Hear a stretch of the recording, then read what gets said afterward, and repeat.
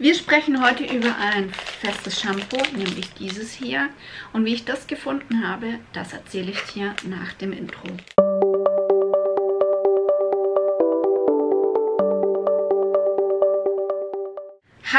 Coco vom Kanal Die kleine Coco und ich stelle ja in einem ganz besonderen, mir am Herzen liegenden Format fester Shampoos vor. Und wenn du mal hier unter dem i guckst, findest du einen Ordner, da sind schon einige drin. Ich finde es ganz gut, ähm, mal Hersteller zu vergleichen. Ob du jetzt Schuppenshampoo nimmst oder ein Shampoo gegen fettige Haare oder so. Das spielt im Endeffekt, was die Konsistenz betrifft, nicht wirklich eine Rolle. Ähm, das hier hatte ich bei Ecoverde bestellt. Und da hatte ich so eine gewisse, ich weiß nicht, Voreinstellung. Das habe ich jetzt schon ein bisschen länger und habe das immer so ein bisschen auf die Seite gelegt, weil ich mir immer gedacht habe, ah, das ist so groß und so. Ähm, und das war falsch. Dieses Shampoo ist von Secrets de Provence. Ähm, von der Marke hatte ich schon mal, meine ich, ein Gesichtswasser. Das hier ist sowas wie, keine Ahnung, ein Donut oder so. Und ähm, die Form ist natürlich sehr außergewöhnlich. Ähm, man sieht, die ist auf der Oberfläche nicht unbedingt gerade, was eigentlich geschickt ist, wenn man es so machen möchte. Ich gehe bei Shampoos meistens immer so vor, dass ich die von der Seite her auch wegnehme, weil irgendwann hast du so eine flache Fläche und es gibt zwar diese Sisal-Säckchen, ich habe ja eins für Seife, ich brauche unbedingt nochmal eins, hier müssen wir eins für Shampoo dann auch besorgen. Ähm, und mit dem kannst du dann auch die Reste auftragen, aber im Moment habe ich eben noch keins und ich versuche halt wenn sich diese Seifen abbrauchen, dass ich die so abbrauche, dass ich die noch in die Hand nehmen kann, wenn sie kleiner werden. Daher ist ähm, die Form äh, gar nicht mal so übel. Vom Geruch her ist es einfach großartig. Ich habe das aufgemacht und habe mir gleich so, mm. aber ich war so ein bisschen, mm, von, von der Konsistenz her, ähnelt es mehr einer Seife als irgendwie einem festen Shampoo, aber es ist ein festes Shampoo. Ähm, das ist jetzt ein Schuppenshampoo und ein Nachteil habt ihr ja bereits schon gesehen. Der Hersteller verwendet eine Plastikverpackung. Also einzelne Shampoos, das habe ich auf EcoVerde gesehen, sind bereits in Pappe verpackt. Warum das jetzt hier in Plastik ist, weiß ich nicht. Ich werde euch jetzt mal hier die Inhaltsstoffe einblenden. Und ich bin von diesem Shampoo echt begeistert. Ich hätte es nicht gedacht. Das ist so dieser absolute Aha-Effekt, weil ich im Voraus so dachte, das war so günstig, das kann nichts sein. Also wenn man preislich äh, jetzt die Shampoos, die ich bereits schon vorgestellt habe, guckt auf jeden Fall unter dem i nach. Äh, da ist schon eine sehr hohe Preisspanne. Sternweise kosten die Shampoos 13, 14 Euro und das kommt jetzt erst, also das kostet eben nur 7 Euro. Und der Duft ist halt echt nicht aufdringlich. Es riecht schon nach sauber, aber es ist jetzt nicht so mega aufdringlich, also es ist eher so ein dezenter Duft. Wenn du das Shampoo aufträgst, ich habe jetzt im Moment, da ich die Pille abgesetzt habe und meine Haut total rumspinnt, mega fettige Haare. Also gestern erst gewaschen, sieht man jetzt natürlich nicht, aber äh, ich muss zweimal die Woche meine Haare waschen und ähm, vom, von der Kopfhaut her habe ich natürlich eine schuppige Haut, sonst würde ich so ein Shampoo nicht verwenden. Ähm, und ein wesentlicher Unterschied jetzt zum Beispiel zu dem Lush-Shampoo, das ich bereits schon vorgestellt habe, du guckst unter dem i, äh, ist es halt einfach super sanft.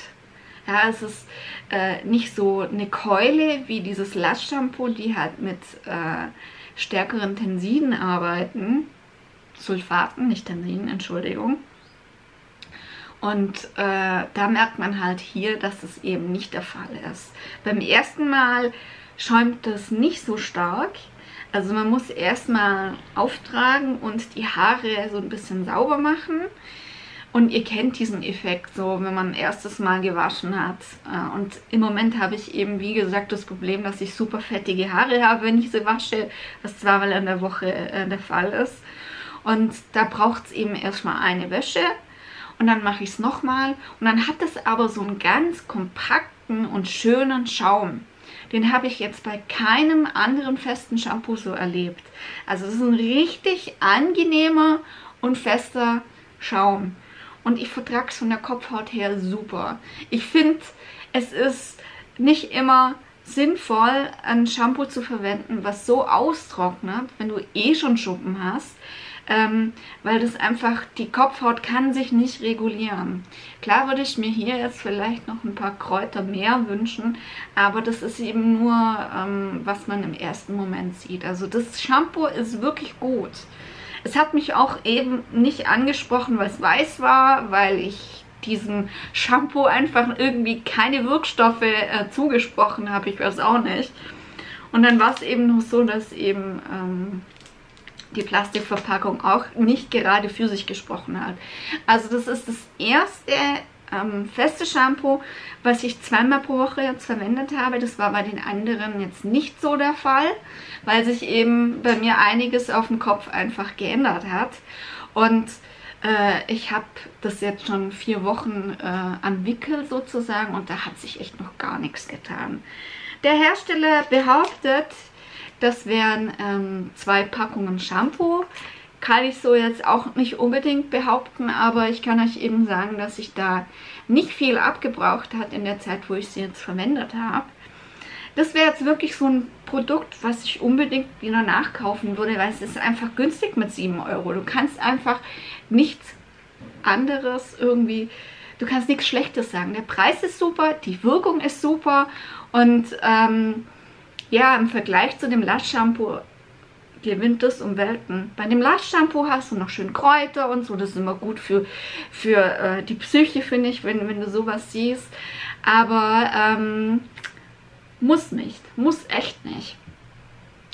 Kennst du dieses Shampoo? Falls du damit schon Erfahrungen gemacht hast, kannst du mir das gerne unten in den Kommentaren mal schreiben. Auch wenn sich das komplett von meiner Erfahrung abhebt, ist es einfach wichtig für meine Zuschauer, dass wenn du eine andere Erfahrung gemacht hast, du die, du die eben den Zuschauern von mir mitteilst. Also du bist sozusagen deine Hilfe auch für andere.